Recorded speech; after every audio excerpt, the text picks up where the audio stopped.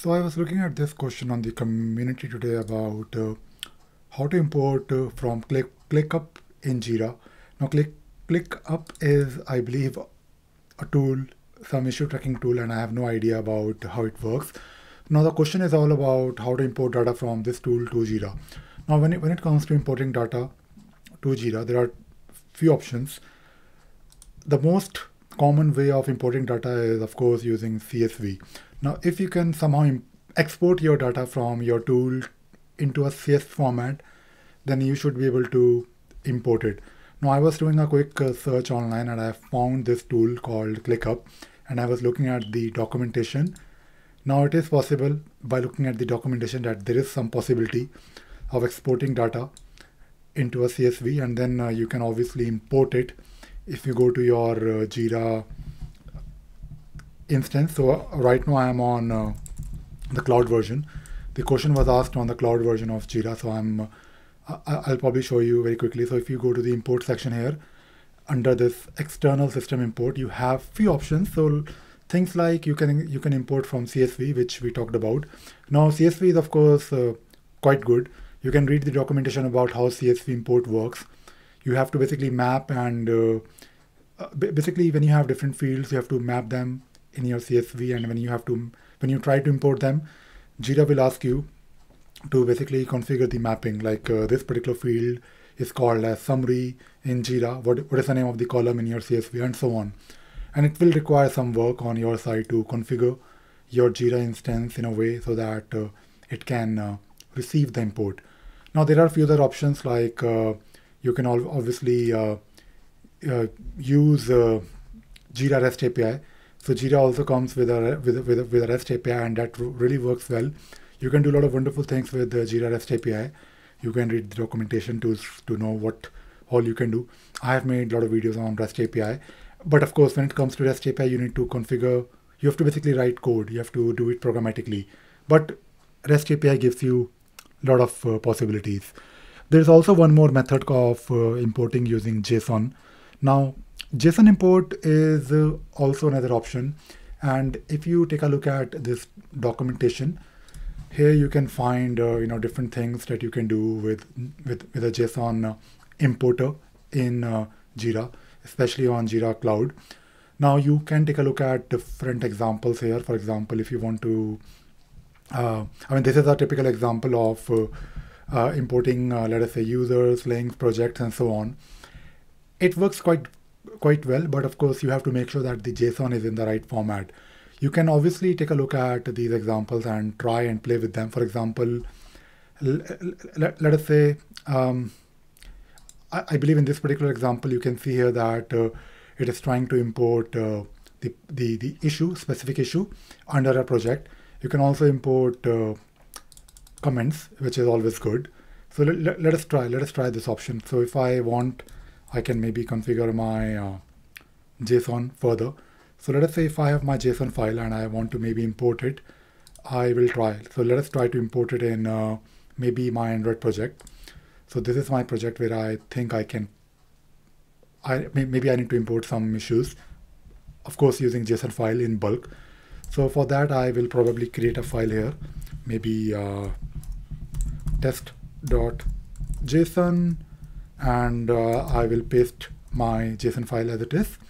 So what I will do here, I will uh, modify the project name, which is, uh, I believe Android, if I'm not wrong. And the project key is, uh, what is the project key? It is AN. So let me modify this.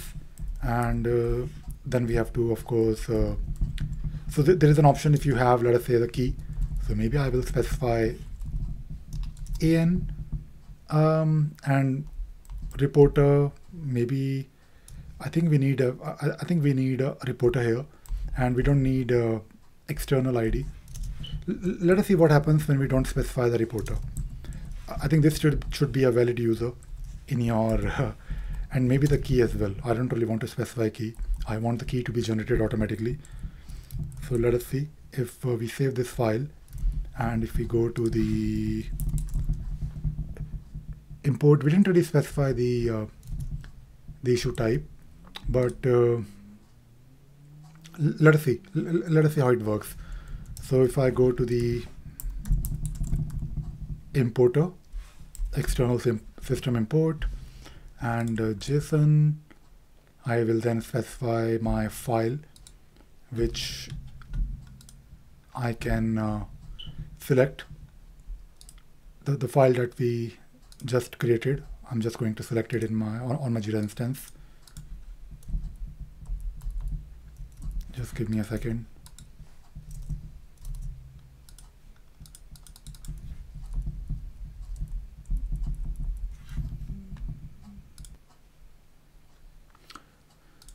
So let me select the file here, which is the test.json.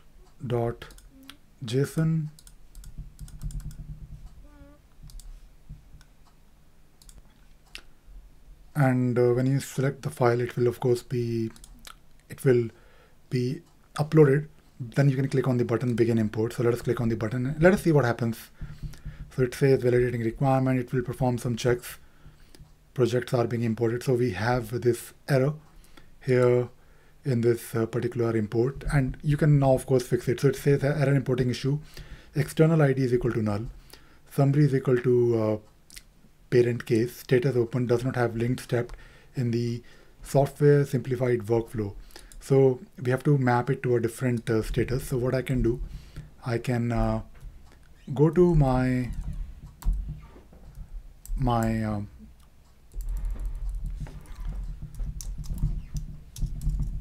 JSON file and I will modify it. I think I can do something like this. Or maybe I'll do undo. Okay, so let us try now. So I think the error was the, the, the, error was actually more about the status and uh, the external ID. So let us uh, check the status that we have in the in the project. So maybe I'll open the workflow and, and I'll take a look at uh, maybe the current workflow. I think the status should be to do or something else in progress, for example. So I'll wait for it to come up. The issues I will try to open one of the issue. So in my particular case, if I'm using a software simplified workflow, we, we still haven't specified the issue type ID. So the, I think I, I can specify to do. I think it should work. So let us modify the workflow to do. Okay. Let us go back to the importer. JSON and uh, I am going to select my file. Test dot JSON open. Begin import. Okay so now it is taking some time and it will now tell us that we can, I mean, th there is nothing, I mean, you can take a look at the detailed log file to see what really happened. Now, in this particular log file, log file you can see here, um, so retrieving projects, project is equal to, no, I think it was, pro I think it was probably the, the old one. So this is the, this is basically the um, log. So it will tell you that custom field not found, okay, which is the case because we don't have a custom field called external ID and uh, one issue successfully created. So what I'll do, I'll go to my project and I'll take a look at uh, what exactly was imported. So Android project and I will go to my issues and I want to see the issue type. So issue type is the one that uh, is something that I want to see and I'll, I'll take a look at all the imported issues. So right now it is uh,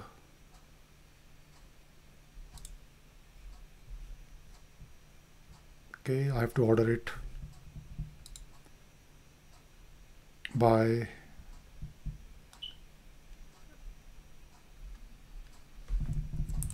maybe created and uh, we have this issue here, which is a parent case. So this is the issue that was created.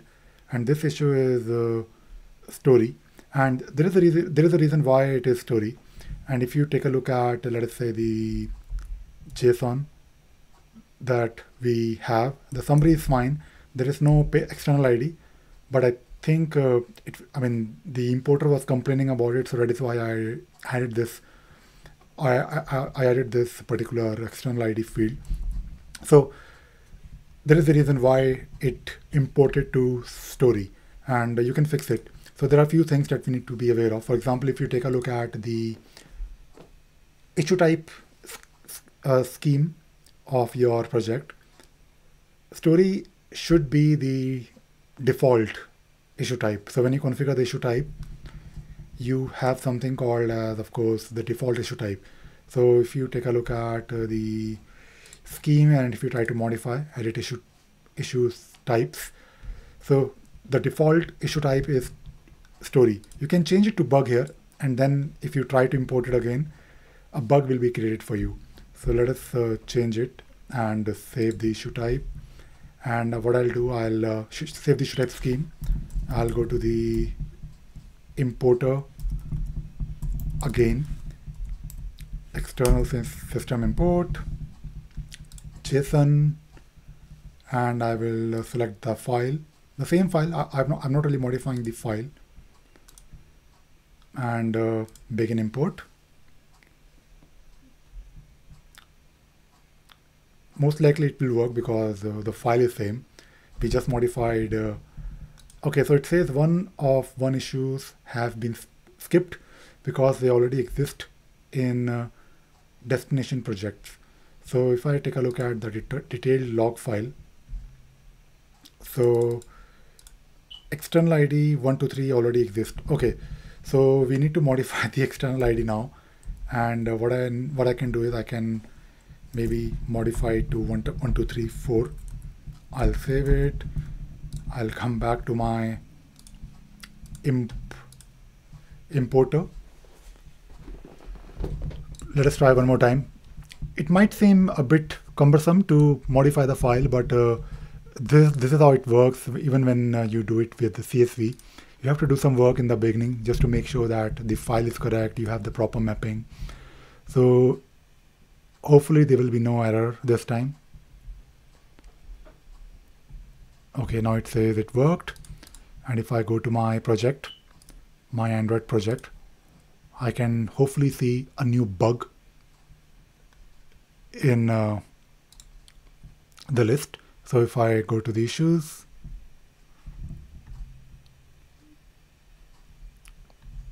order by not by priority I want to order by created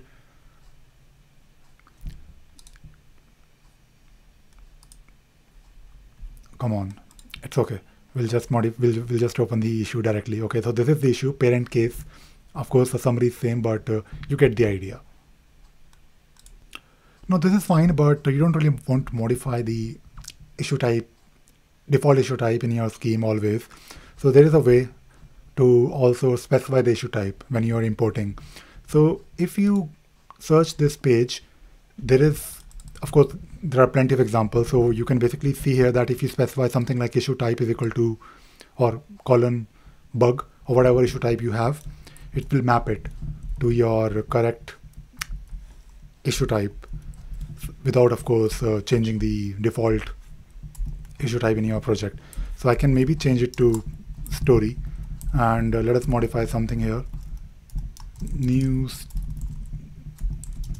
new story here and uh, I'll save it. I'll go back to my to my Jira instance and I will do one more time external system import. JSON choose a file. Again same file. Open and uh, begin import. And hopefully this time a story will be created. And it should work because we have a unique external ID. Yep, it worked. I'll go to my project directly and hopefully I can see a new story. So today I basically wanted to first let me validate, let me check, and then uh, we'll continue the discussion. So JSON import works really well in uh, in, in, some cases because uh, you cannot always uh, export in CSV, for example. JSON also gives you a bit more flexibility because you have a structure that you can follow. Um, and sometimes it is easier to generate a JSON. Uh, there are a lot of libraries that will let you generate a JSON file directly. Um, so we were talking about uh, this new story. And uh, if you look at the new story here, it is of course of type story. And the status is to do. And it is of course a very simple, a very basic example, but uh, the idea here was to show you that JSON can also be used to um, import into your Jira instance. And do take a look at this page, import data from JSON. You have plenty of examples here that will uh, help you in, uh, of course, uh, not only importing the data, but you can also take a look at different uh, mappings that you can do. For example, I'm sure when you're importing from your tool, you have fields like priority, status, maybe you have tags, you can use labels. So you have to spend some time in the beginning to basically map it to the right uh, field in Jira and make sure those fields are there in your project. So that is all I wanted to talk about in this video. I hope you enjoyed watching this video and you learned something new today. Thank you very much.